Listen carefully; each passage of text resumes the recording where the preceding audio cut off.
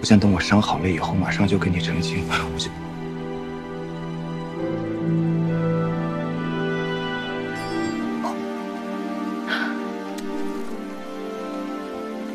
这尹章姐什么意思啊？就因为昨天拌了几句嘴，就打算住在沈家不回来了？是我说漏了嘴。说漏嘴？你不觉得一直以来，尹章对顾千帆都有一种不一样的感情？有，每次提到顾副使的时候，他就像茶坊里刚听完曲的茶客似的，叭叭叭的说个不停。你是说尹章姐对顾副使也？要不然为什么昨天？他突然对盼儿发那么大的火，现在又突然又住到沈家去。他不会一直不知道盼儿姐跟顾副使的事儿吧？八成是吧。我今天跟他说了盼儿和顾千帆定亲的事儿，怪我。那你千万不能告诉盼儿姐你刚才遇到尹章姐的事儿啊！我看到盼儿姐今天一时不太对劲，而且街上到处都是皇城司的人在巡查，我疑心顾副使那儿会不会出了什么岔子？不会吧？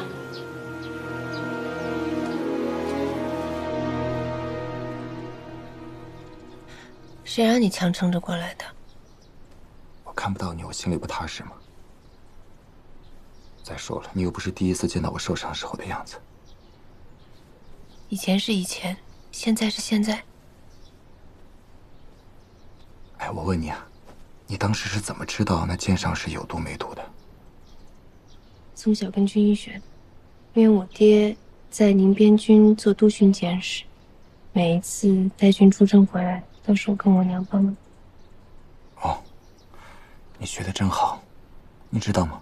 大夫跟我说，如果不是你的及时救治的话，可能我这条小命都保不住了。我自然要拼尽全力了。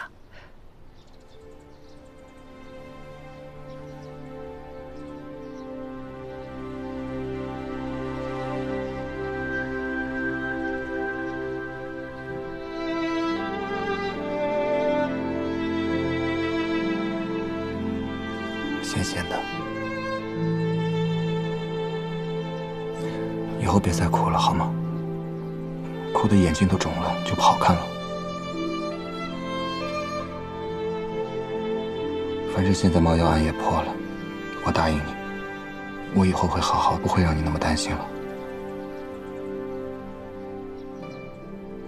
还有啊，我找了一些准备要转卖的酒楼名单。我下次会让陈莲送过来给你，你可以一家一家的去问。嗯。还有啊，我现在真的等不及了，雷静那边我也不想管了，我想等我伤好了以后，马上就跟你澄清。我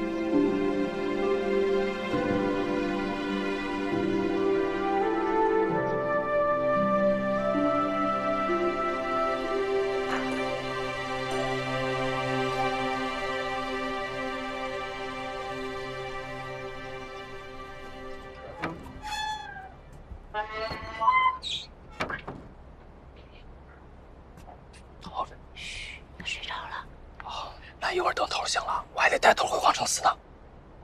我能一起去吗？不行，这回猫妖案的事情牵扯过多，回坊以外连司空都不让头回私宅了，只能在皇城寺的南崖开辟了一间静室休养。不过潘二姐，这你要照顾头，以后有一辈子时间呢。那就交给你了啊！您放心。